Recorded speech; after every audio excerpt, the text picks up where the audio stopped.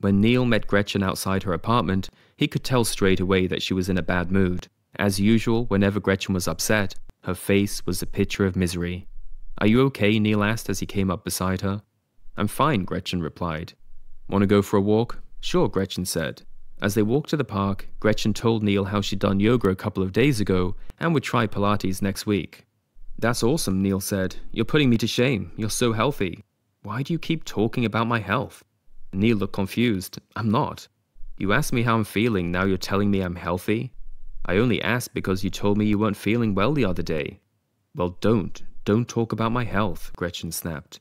Neil had seen Gretchen act this way before, and he knew it didn't bode well for the rest of the day. The last time Gretchen had acted this way, she had spent the whole day chewing him out. Neil didn't want to experience a repeat of that all over again. So Neil did what he thought was best and told Gretchen he didn't mean anything by it. It was just a harmless comment. Neil then proceeded to spend the next couple of hours trying to talk Gretchen into a state of happiness. But nothing he said or did seemed to lighten her mood or make her feel any better. Six months later, Neil was gone and Gretchen was in a relationship with Sean. One afternoon, while Gretchen and Sean were having coffee, Sean asked Gretchen if she was feeling better. Gretchen had been sick for a couple of days, and Sean wanted to make sure she was okay. I'm fine, Gretchen said, sipping her coffee. You sure? I said I'm fine, Gretchen snapped. Relax, I was just making sure you're okay. Well, don't. It makes you sound stupid. Fortunately, Sean had seen this kind of behavior before.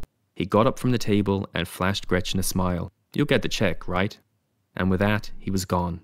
Sean knew there was nothing he could say to make Gretchen happy, and he knew she would spend the next couple of hours being rude, and there was nothing he could do about it except mirror her emotions and withdraw from the situation. Actions, after all, speak louder than words.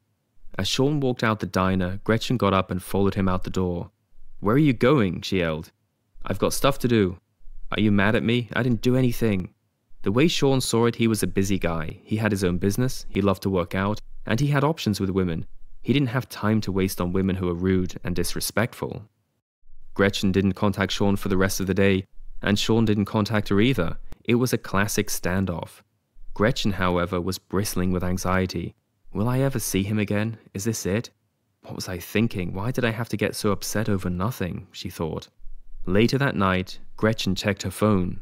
Still no message from Sean. Unable to contain her anxiety any longer, Gretchen typed out a message and sent it to Sean. Hey, I'm sorry about before. Are you okay?